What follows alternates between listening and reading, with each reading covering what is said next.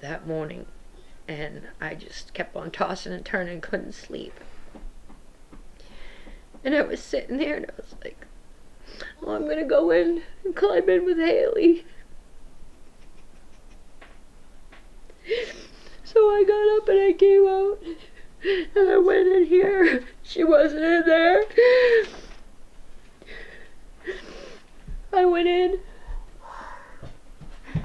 to Amber's room because just Amber and the baby were in there, and I said, "Have you seen Haley? Do you know where Haley is?" And she's like, "No." And then I headed for my garage, the blue one, and I walked to the door. and she was hanging there. I could have sworn she was just like leaning on it, just you know. I I didn't know that she was gone, and and I just started screaming, Haley. Think there are a lot of factors. Um, some of it is, you know, our state has a lot of ruralness to it and a lot of isolation. I think one of the most significant factors is the social media.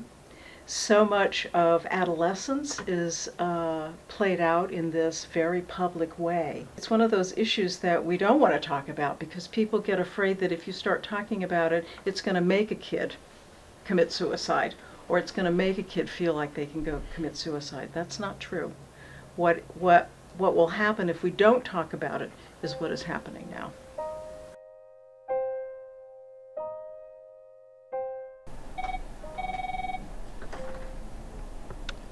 Crisis Services, this is Kathy. How can I help you? Okay, I'm um, one of the team leads for the mental health crisis line. Um, we are a hotline and we serve um, basically three counties. We, a lot of times it's the parents that call, but kids can call too. And I'm always impressed when a kid will call themselves. Mm-hmm. We're here to help.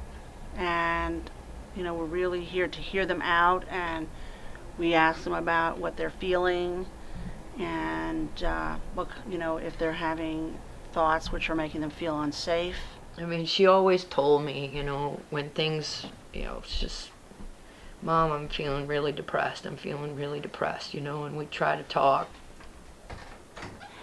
Oh, she just, she loved people. She loved everybody.